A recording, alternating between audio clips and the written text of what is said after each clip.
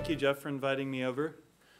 So I'm going to spend some time talking about some of the business opportunities that are being enabled by low-cost 3D vision. Uh, the Microsoft Kinect was really the first low-cost 3D sensor to come out. It came out at the very tail end of uh, 2010. Am I still off? No, you're good. Okay.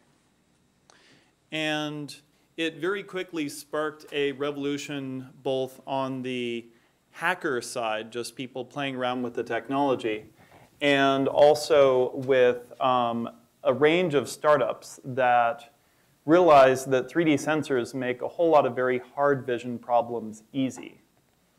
So it, like the range of industries that have been spawned from this is pretty huge. You have everything from augmented reality, uh, a lot of gaming, gesture recognition, um, things related to like medical use cases, metrics, things like that. However, I'm going to focus in particular on the 3D content creation problem.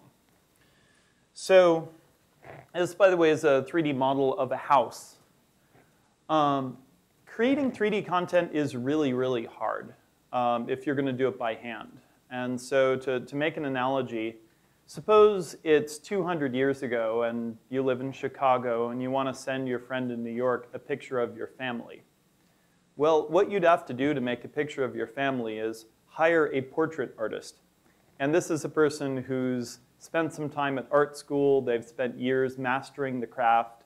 They show up to your house, your whole family sits down for hours, and they spend a good long while doing preparatory sketches, and then they start to paint, and maybe a couple of weeks and the equivalent of a couple thousand dollars at the time later, you have an image of your family. You could then you know, ship that to New York somehow.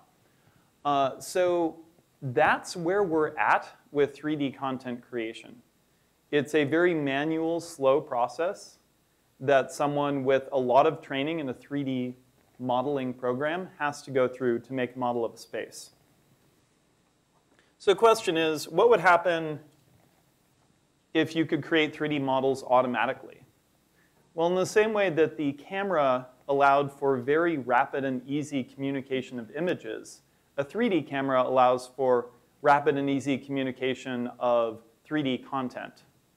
And so if we can solve that content creation problem, make it really easy to make 3D models, then you can enable this whole era of 3D communication.